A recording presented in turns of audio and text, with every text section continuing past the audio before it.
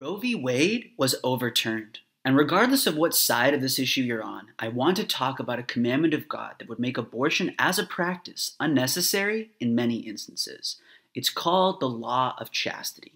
According to this law, men and women share an equal responsibility in abstaining from sexual relations until they are legally and lawfully married. Imagine how different this world would be if we all kept this commandment. This world is possible and it starts with our personal choices. And that's why I speak to the youth when I say you have the power to cultivate a better world as you boldly live the law of chastity and invite others to do the same. If you have stayed strong in keeping this commandment, awesome. Keep going. Invite others to do the same.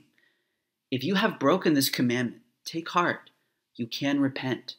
When we are baptized, we come out pure and clean, as if we've never done anything wrong. But after baptism, do we still make mistakes?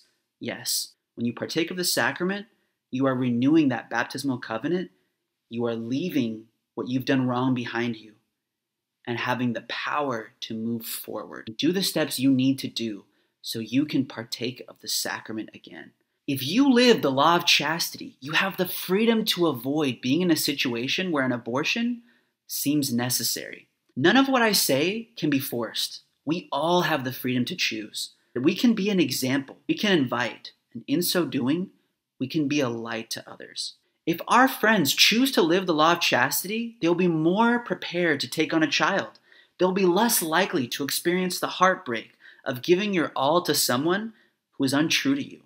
And if you practice self mastery before marriage, you are more likely to maintain that after marriage. As we live the law of chastity, we can cultivate a stronger, better, healthier world, and we can make a lot of the issues surrounding Roe v. Wade ancient history.